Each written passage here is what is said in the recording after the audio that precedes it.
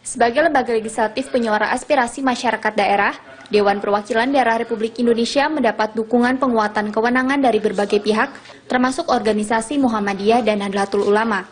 Afnan Hadikusumo, anggota DPD RI Dapil Yogyakarta mengatakan, Muhammadiyah mengapresiasi kinerja DPD dalam menyuarakan aspirasi masyarakat. Ya, dan eh, Muhammadiyah sangat mengapresiasi arah kita untuk melakukan penguatan dan eh, selama ini mereka sangat membantu kita dan mendukung kita.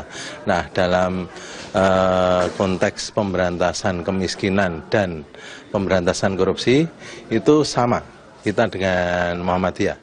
Selain Muhammadiyah, DPD RI juga mendapat dukungan dari mantan Ketua Umum Nahdlatul Ulama Hashim Muzadi. Terkait hal ini, Irman Gusman, Ketua DPD RI memberikan pendapatnya. Untuk memberikan dukungan ya sebagai orang yang banyak terlibat dalam kehidupan berbangsa dan bernegara, beliau menegaskan dukungan seperti yang beliau katakan bahwa perlu uh, apa namanya DPD ini sebagai lembaga negara ini sebagai wakil daerah ini diperkuat. Karena dengan memperkuat DPD otomatis juga memperkuat MPR. Karena MPR itu kan terdiri daripada DPR dan DPD. Dan dia juga mendukung GBHN itu bukan diletakkan pada tingkat undang-undang tapi melalui uh, MPR. Karena kalau MPR itu kan lebih mengikat. Dukungan Muhammadiyah dan Nahdlatul Ulama membuktikan DPD RI sebagai lembaga perwakilan daerah memerlukan penguatan kewenangan untuk memperjuangkan aspirasi bangsa.